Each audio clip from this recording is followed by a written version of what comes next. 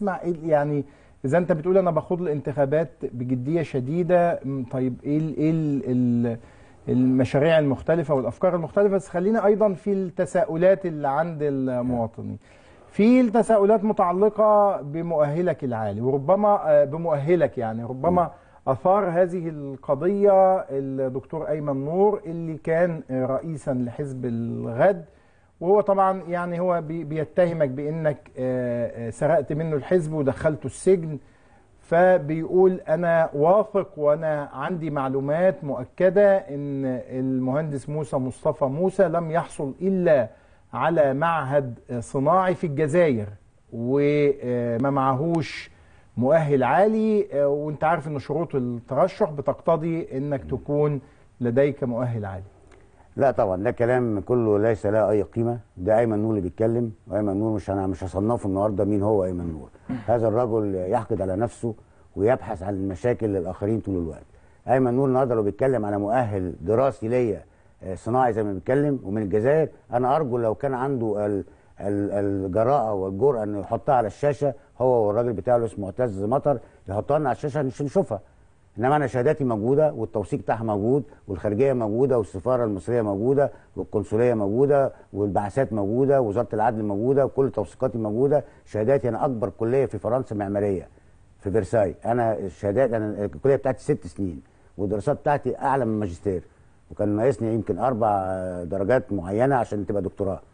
وده ال- اللي ما كانش فيه وقت بعد وفاة الوالد و... واتحركنا ونزلنا القاهرة. كليه هندسة. آه هندسة معمارية. وعدلتها هنا ب- بإنها مؤهل عالي هي واخدة كل الس... لا مش مش معادله عالي لأن المشكلة في في المعادلة إنك أنت لو بتعادل يبقى أنت عايز تشتغل في الجامعة. وإحنا كتبنا تعهد إن إحنا مش هنشتغل في الجامعة. يعني كان آه. في في في ال في ال آه. بي- بي- بيشرطوا حاجات معينة. وإحنا ما دخلناش في هذه الجزئية لأن ما كناش لا عايزين نشتغل ساعتها في مصر وقتها ولا كنا هنعمل آه، دور آه، له حاجة دراسات أو تدريس في الجامعة. آه لا, لا لكن ده ما يتناقضش مع اللي هي المادة واحد في ال- الفقرة ثلاثة في آه، قانون الانتخابات إنك لاب- لابد إن يكون معاك مؤهل عالي. أنت شايف أنا إنه- مؤهل أعلى من العالي أنا مؤهلي ماجستير. آه. رسمي في الورق وكل حاجة. وإضافة للماجستير كان ممكن آخد كمان أوصل للدكتوراه بيه. لكن ما وصلتش لأن كان في حاجات ناقصة في الدرجات وما كانش ممكن أكمل لو أنا بشتغل والوالد توفى وكنت يعني كان الوضع مختلف يعني. لكن المؤهل بتاعي بكالوريوس زائد درجات إضافية تمثل ماجستير. آه أمال إيه معهد صناعه من الجزائر؟ ده بقى أنا عايز اشوفه منه بقى. ما أنا عايز أشوف واحد راجل بيتكلم آه كلام له قيمة وله ويبقى سوي هو واللي معاه ويورينا الكلام ده وأنا بتحداه على الشاشة قدام الناس وأنا مؤهلاتي موجودة هحطها له على الشاشة وي- ويعرضها هو. آه يعني أنت بتقول اللي بيدعي إن أنا آه، معايا معهد صناعي فقط من الجزائر وأنا مش عارف ليه أنت أنت رحت الجزائر شوية ولا حاجة؟ في, إحنا إحنا والدي كان عامل مكتب هندسي فيه 4000 مهندس في الجزائر. في الجزائر. وبنينا نص الجزائر. وده قصة آه. آه. معروفة. وفي شارع باسم الوالد في الجزائر. ولينا وضع كبير جدا في الجزائر يعني. مش إحنا آه. آه. اللي هنيجي نعمل معهد صناعي في الجزائر. هو الجزائر دي كانت لسه بتتبني. يعني ما كانش فيه ال- الأدوار اللي هي يعني العلمية. رحنا فرنسا درسنا أنا وعلي أخويا. وبدأنا هناك فعلا في كلية فرساي آه، البترواف في- فرنسا وعملنا كلية والدراسة هناك ست سنين مش أربع سنين.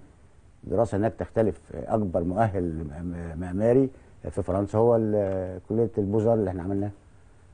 لكن لا مؤهل صناعي ولا بتاع. إحنا حقيقي في الصناعة. إحنا عندنا أكبر شركات في مصر في الصناعة. ما عملناش ده من الهوا. إحنا مشروعاتنا ضخمة جدا في هنا في 6 أكتوبر في كل المدن الصناعية. وعندنا ده, ده عائلتك آه أنا وعائلتي وعلي إخويا وعملنا هذه الانشاءات كلها.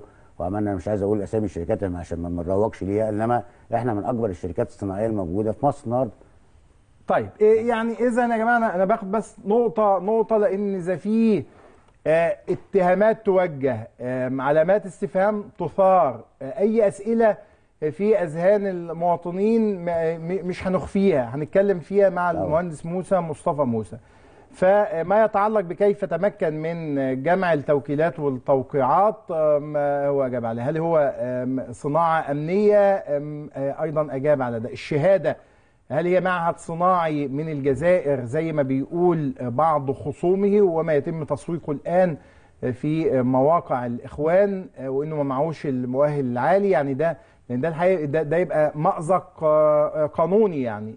يحول بينه وبين خوض الانتخابات. المادة واحد فقرة ثلاثة من قانون الانتخابات أنه لابد أن يكون حاصلا على مؤهل عالي.